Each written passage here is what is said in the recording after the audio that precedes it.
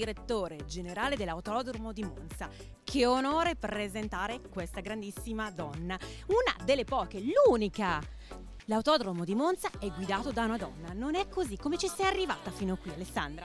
Grazie, grazie per la domanda. Eh, allora, arrivo qui per la passione intanto, per eh, la sfida, perché questa è una grande sfida, è inutile dirlo, e, ehm, e, anche la voglia come dire, di fare qualcosa di eh, se possibile eccellente. L'autodromo ha una storia, l'autodromo è un'icona.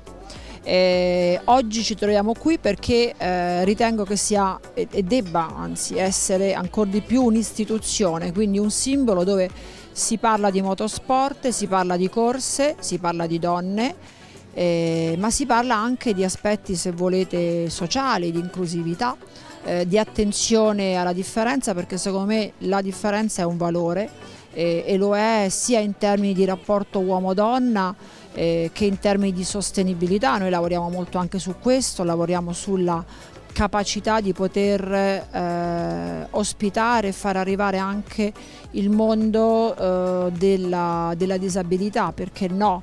Eh, noi vogliamo essere un sistema aperto, vogliamo che le persone quando vengono qui si divertano e apprezzino quello che di bello c'è qui, la storia, eh, il parco, eh, l'idea della sfida, l'idea della velocità e, e, quindi sono un po' nostre, il nostro sistema di valori che vogliamo riportare in questo grande circuito. Quest'anno facciamo 100 anni e, e, vogliamo consegnare ai secondi 100 anni un autodromo oh, moderno e che parli a tutti, tenuto conto che c'è una storia importante.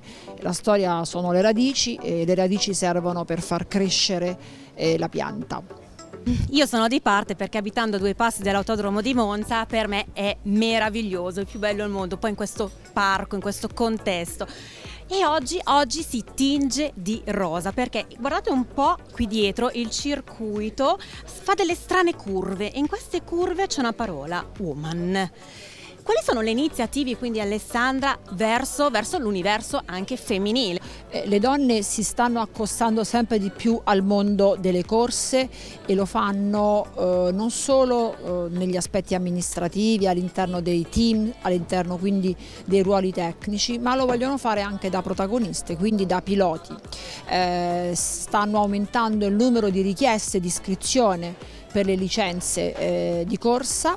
Eh, noi vogliamo eh, e perseguiamo la possibilità che eh, durante le nostre gare ci sia sempre un maggior numero di iscritte all'interno della nostra azienda. Le donne sono eh, direi quasi la gran parte e ricoprono ruoli importanti, ruoli di responsabilità. Eh, credo che la donna abbia una sensibilità eh, rispetto a quello che possono essere difficoltà e, e capacità di coniugare eh, le, le, le, criticità con le opportunità e questa è anche un po' la nostra politica, è una politica che guarda alla qualità e, e laddove ecco, la differenza deve diventare un tratto distintivo in termini positivi e non in termini negativi. Mi viene naturale farti questa domanda. Tu sei scesa in pista, hai provato l'alta velocità qui a Monza?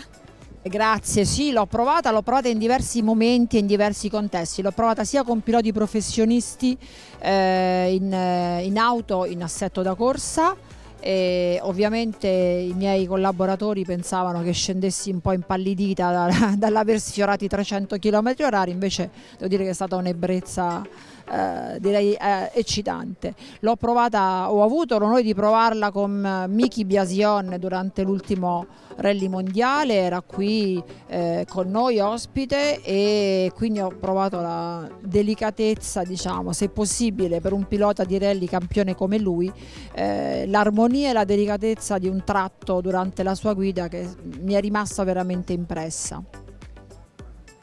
Grazie Alessandra e in bocca al lupo all'autodromo di Monza che sia un'evoluzione. Grazie.